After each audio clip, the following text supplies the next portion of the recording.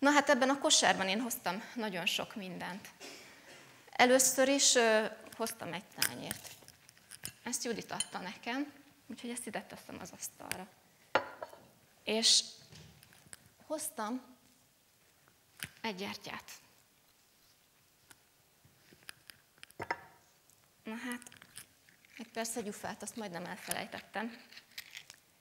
És ezzel együtt én hoztam nektek fényt.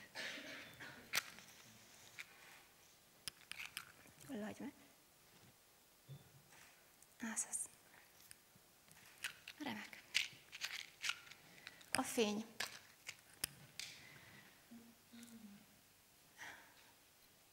A fény az általában áhítatot kelt. Ha belépsz egy templomba is égő mécseseket látsz, ha kilépsz a napfényre, szintén a fényel találkozol. És a fény az, ami az életünkbe kell, hogy egy vezérfonál legyen. Ugyanis a fényben benne van minden szín. De milyen színek vannak a fényben? A legelső dolog, amikor kilépünk egy szép esős délutána, amikor még a nap is kisütött, el tudjátok képzelni? Éppen szitál, köd van egy picit még, olyan friss, párás a levegő, és akkor meglátsz egy gyönyörű nagy ívet. A szivárvány. A fény. Egy másik arca. És milyen színek vannak a szivárványban? Emlékeztek erre? Megnéztétek már? Oké, okay, remek. Akkor ez menni fog. Akkor nézzük meg, mi az első szín? A vörös? Na, nézzétek csak. És van vörös. Mi a második? Narancs. Van narancs. Na, mi a harmadik? Uh-huh. Sárga? Sárga. Gondoltam, csinálok nektek szivárványt. Oké. Okay. Következő? Zöld. Hú, ha tudnátok, hogy mennyit kívántam én, hogy egyszer találjak ilyen színeket. És a múlt héten lettek. Csak úgy ami nem is biztos, hogy csak úgy zöld. Kék. Oké. Okay. Kék. És utána? Na de ha a lila a következő, akkor mi az utolsó? Mi van a kék után? Uh-huh. Na igen, igen, itt, itt szokott lenni érdekesség. Jó, szürke az nincs. Szürke az, az, az. Hát ez nem teljesen tökéletes, de éppen megfelel. Ez egy ilyen indigó jellegű szín. Tehát ami a lila és a kék között van. Amiben, ugye mivel a színeket keverjük, ugye a lila színek a kékből és a vörösből keverednek, és akkor ebben egy picit több a kék, mint a vörös. Ő az indigó. Ő jön. Ugye ez indigó gyerekek, és meg nem értettek.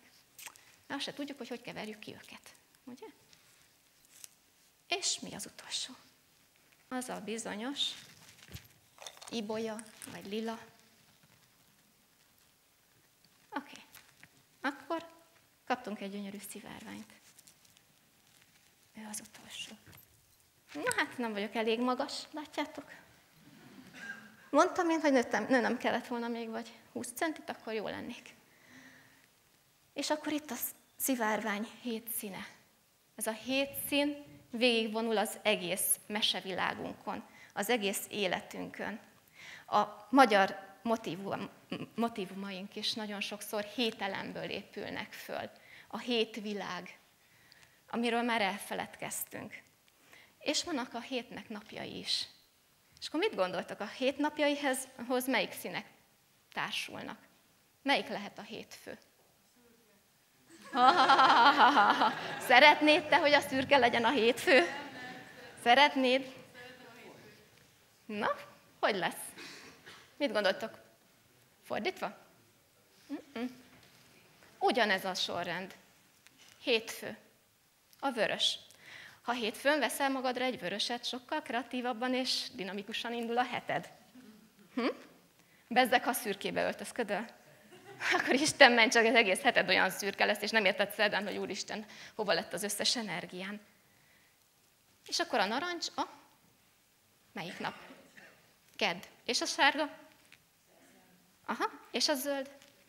Csütörtök. És a kék? Uh-huh. És ma milyen napunk van? Egy indigó. Egy csodálatos, magas rezgésű napunk van. Hát nem csoda, hogy itt ilyen csodák történnek ma. És hát ugye holnap korodnáznánk meg a hetet, de már sokszor ugye egészen másképp zajlik, hogy ja Isten, már megint jön ez a hétfő. Nem. Az a legcsodálatosabb. Akkor törődjetek a legtöbbet magatokkal, a lelketekkel. És azon kívül, hogy ez a hét szín a szivárványban megjelenik, és egyébként a napoknak is, hogyha színeket vendünk, nem csak itt lehet ám színeket észrevenni, hanem egy picit tehát elmegyünk a spiritualitás világába. A csakrákról hallottatok már? Hogy lássam, bólogattok? Bólogattok. Mindenki bólogat. Nagyon jó. Szóval, és a csakrák színei azok hogy működnek? Na, melyik az első? A vörös, és utána narancs, és utána, és utána, és a kék, ami most nekem kell, hogy működjön erősen, igaz? És utána az indigó, és a lila. Ugye? És ami a csodálatos az egészben, hogy ha ezekkel a színekkel körbevesszük magunkat, akkor előbb-utóbb elérhetünk egy olyan állapotot, ami maga a fény. Lehetsz te magad a fény. Ez viszont egy nagy, nagyon komoly önismereti ö, utat jelent. Mert nem azt jelenti, hogy hú, gyorsan magam raggatok minden szint. Én magam raggattam, látjátok, oda tettem őket, hogy el ne felejtsem, egész nap működjön bennem.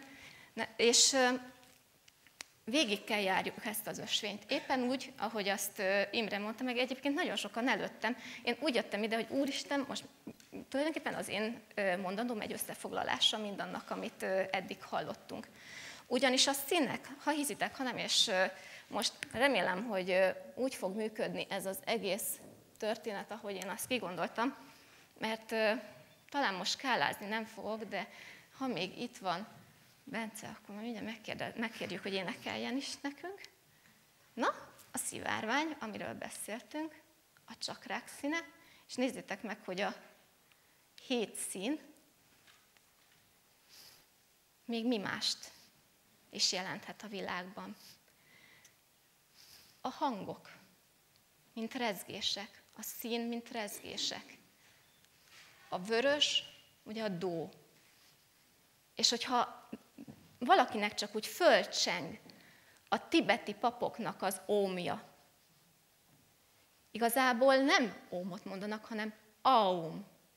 A-val kezdenek, mint a magyar ABC első magánhangzója A. És nem is ám olyan A, mint amit más nyelvek mondanak, hanem ezt csak mi tudjuk így mondani. És így épül fel.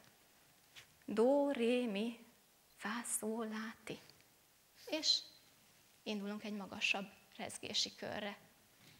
És az életünk ugyanilyen spirál. A DNS-ünk is ugyanilyen spirál.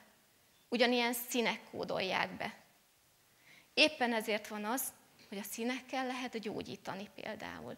És akkor meg utána lehet ennek nézni. Rengetegféle dolog van már a világban, amivel be tudod emelni magadba a színt. De az legfontosabb, hogy vedd körül magad fényjel ott van minden szín. És amikor megértjük azt, hogy ezek a rezgések, ezek a színek mind-mind körbevesznek minket, és megértjük azt, hogy a színeknek frekvenciája és hullámhossza van, sokszor keverjük őket, de a lényeg az, hogy a legmagasabb frekvenciájú az ibolya, a lila, a legalacsonyabb a vörös. És honnan is indulunk? Lentről fölfelé. És mindig fölfelé törekedj. De állj két lábbal a földön, és nyújj az ég felé. És legyél egyszerre a vörös, és legyél egyszerre a lila, és mindenféle szín, ami, benne vagy, ami benned van. Ezt viszont meg kell ismerni, utána kell járni. Ehhez én egy hát kicsit játék, kicsit ö, tudomány is, tehát ö, én szeretek játszani, ö, összekombinálni dolgokat. Például a numerológiát a ö, színgyógyászattal és egyebekkel, és, és arra jutottam, van egy nagyon jó, meg is mutatom, mert nem én vagyok az az okos, aki először ilyesmit mond, van egy ilyen nagyon szép színes könyv. És ebben van egy nagyon jó felhívás, vagy egy hívás arra, hogy ismerd meg önmagad a színek által. És egyetlen egy hibáját láttam, hogy angol ABC szerint dolgozik. Na de hát könyörgöm, mi magyarok vagyunk. Az angol mit kezd nekünk egy ü betűvel, vagy egy ö betűvel, igaz? Tehát nincs megfelelő kód hozzá. És átírtam a kódrendszert, és elkezdtem tesztelni. Működik, vagy nem működik? Tehát ki lehet például számolni azt, hogy milyen szín dominál jelenleg benned, ami esetleg utat mutat abban, hogy milyen életfeladatod lehet. Mi az, ami érdemes elgondolkodni. Tény, hogy mindenkiben, én a nyakamat teszem rá, hogy minden szín ott van. Én nem hiszem, hogy valaki csak ilyen vagy csak olyan. Éppen úgy, hogy nem lehetünk ö, ö, semmi másban sem egyformák. Hát pont az, amit mondott Vali, te mondtad, hogy egyedi és csodálatos itt mindenki, és megismételhetetlen, és ez éppen igaz arra is, hogy, hogy amikből felépülünk, amilyen kódokat hordozunk, az bár mind egy gyökérről fakad, de mégis más. Így tudunk tanulni. Ezért vagyunk itt, hogy megtaláljuk önmagunkban a fényt. És utána, ha megtaláltuk, ám nem őrizgetjük, hanem azt sugározzuk kifelé. Adjuk tovább, adjuk át egymásnak, adjuk a ö, kisebbeknek, a, az új generációnak. És én azt gondolom, hogy ha egy ilyen törekvésbe bekapcsolódunk, és elkezdünk játszani a színekkel még tovább, akkor rájöhetünk arra, hogy a hét színen kívül még további színek vannak. Olyan gyönyörű volt az a kis műanyag játék, amit felhoztál.